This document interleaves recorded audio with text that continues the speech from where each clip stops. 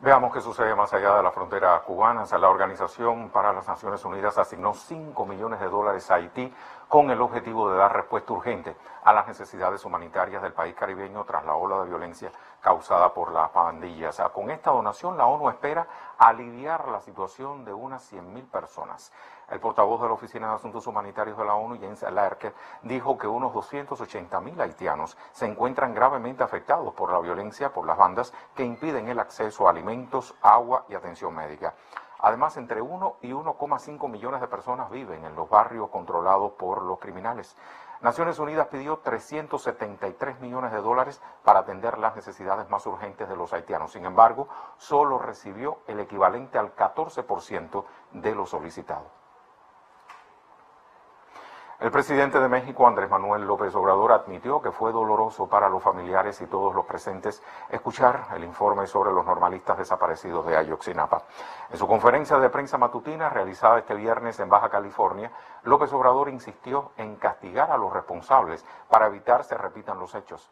La víspera, la Comisión para la Verdad concluyó que lo ocurrido hace casi ocho años fue un crimen de Estado el subsecretario de Derechos Humanos, Alejandro Encinas, puntualizó que en la desaparición de los 43 estudiantes de la normal rural Raúl Isidro Burgos, la noche del 26 al 27 de septiembre de 2014, concurrieron integrantes del grupo delictivo Guerreros Unidos y agentes de diversas instituciones del Estado mexicano. Según el informe preliminar, las autoridades federales y estatales del más alto nivel fueron omisas y negligentes. Además, alteraron hechos y circunstancias con el fin de variar el resultado de las investigaciones. El canciller federal de Alemania, Olaf Scholz, compareció ante una comisión parlamentaria que investiga el escándalo de los COMEX, un fraude fiscal de dividendos que salpicó al político. El líder del Partido Socialdemócrata desmintió haber ejercido cualquier presión en el procedimiento fiscal relacionado con el caso que salió a la luz en 2017 cuando era alcalde de Hamburgo. El fraude era un dispositivo de optimización creado por varios bancos que permitía a inversores extranjeros aliviar sus impuestos sobre los dividendos. Decenas de personas fueron inculpadas, incluyendo banqueros, corredores de bolsa, abogados y asesores financieros. Además, una decena de países se vieron afectados por el escándalo.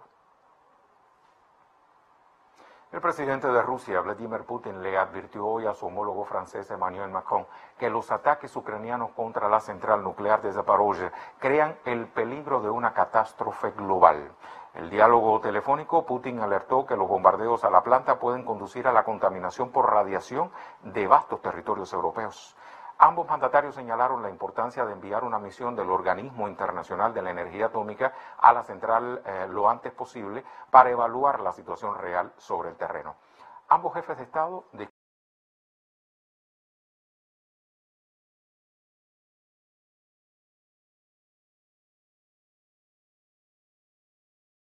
jefe de Estado ruso y su par chino Xi Jinping asistirán a la próxima cumbre del Grupo de los 20 en noviembre. Yoko Widodo, mandatario de Indonesia, el país anfitrión, confirmó la asistencia de ambos líderes a la reunión del G20. En un contexto matizado por el incremento de las tensiones entre ambas naciones y Occidente, Widodo enfatizó en la necesidad de resolver las diferencias por la vía diplomática.